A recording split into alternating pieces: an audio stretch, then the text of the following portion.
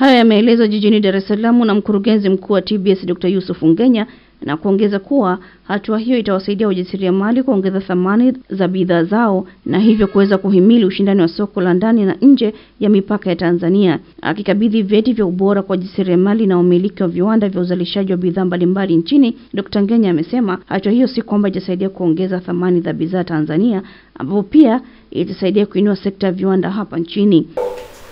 Akiona nembo ya ubora pale, ana imani kwamba bidhaa hii imethibitishwa na TBS, kwa hiyo hii bidhaa ni bora, atainunua akiwa na uhakika na roho safi kwamba bidhaa aliyonayo ni njema safi.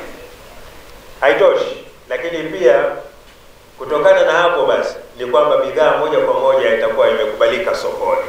Aidha, Star TV ikapata fursa ya kuzungumza na baadhi ya wajasiriamali pamoja na wenye viwanda waliopewa vyeti. Inaturuhusu sasa kufanya biashara nchini. Biashara ishathibitishwa, uh, bidhaa ni kubwa duniani, lakini kwa hapa ishathibitishwa kwamba inakizi vigezo na viwango vya ubora, na tumefurahi sana kwamba leo tumeweza kupata uh, cheti chetu cha TBS kwamba imeweza kukagua bidhaa zetu na kuona kwamba zimefikia ubora na tuna, tunaweza kuzi, kuziuza kwa hapa hapa Tanzania na nje ya nchi. Na kiukweli niseme tu ukweli, hatukupata wakati mgumu. Tulivyoanza process hizi tuli tulipata ushirikiano mkubwa kwanza kutoka SIDO lakini pia na TBS. Katika hafla hiyo wajasiriamali na wenye viwanda tisini wamepewa vyeti vya ubora wa bidhaa zao ikiwa ni pamoja na nembo ya ubora wa TBS baada ya kukidhi matakwa ya vigezo vya ubora vinavyohitajika katika bidhaa.